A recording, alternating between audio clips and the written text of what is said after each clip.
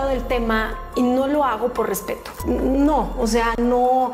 Irina Baeva es una de las personas menos queridas en todo México. Y esto lo sabemos desde hace ya varios años. La famosa actriz hizo que todo el mundo se fuera en su contra, cuando se supo que al parecer ella era la amante de Gabriel Soto, mientras el actor estaba aún casado con la también actriz Geraldine Bazán. Se dice que por Irina Baeva ambos se divorciaron. Tras este escándalo, Irina Baeva hasta el momento no ha vuelto a protagonizar una sola telenovela. Ella únicamente se ha enfocado en realizar papeles antagónicos. Lo cierto es que cada vez que Irina Baeva habla con la prensa, ella trata de quedar bien hablando de lo mucho que ama México. Sin embargo, bien dicen por ahí que no todo lo que brilla es oro. Al parecer, la actual prometida de Gabriel Soto esconde muchísimos trapitos sucios que podrían acabar con lo poquito de reputación que aún le queda. Irina Baeva nació el 25 de octubre de 1992 en Moscú. Desde que era muy niña, a ella le llamaba la atención la actuación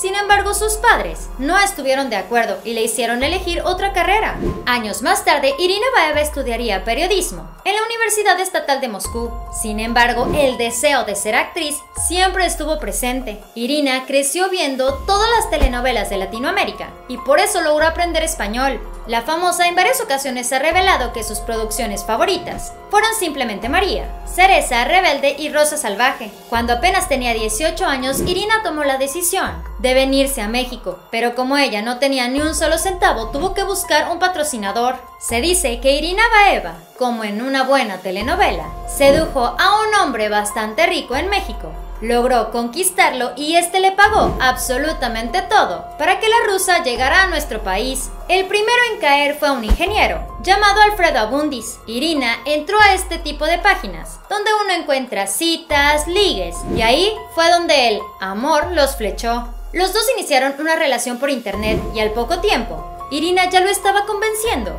de que le pagara absolutamente todo para traerla a México. Una vez en nuestro país, Irina se quedó en casa de Alfredo y vivían como si fueran marido y mujer. La relación entre ellos iba bastante en serio, al menos por parte de Alfredo, Irina bien sabía que solo lo estaba utilizando. Gracias a su novio mexicano, Irina Baeva logró perfeccionar su español, logró arreglarse la dentadura e incluso la llevaba a lujosísimos viajes. Le compraba ropa, joyas y todo lo que pedía la rusa. Para el 2013, Irina logró entrar al CEA de Televisa. Ella ni siquiera dominaba por completo el español, ni conocía lo suficiente la cultura local.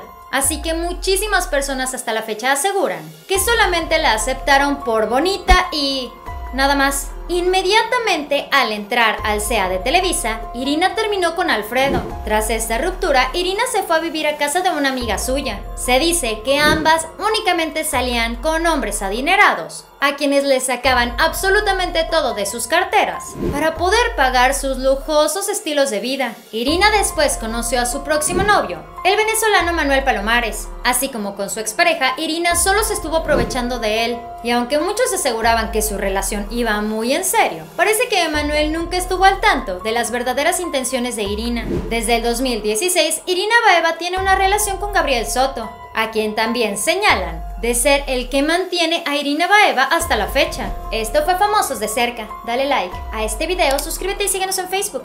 Espero que tengas un excelente día. Nos vemos muy pronto. Bye.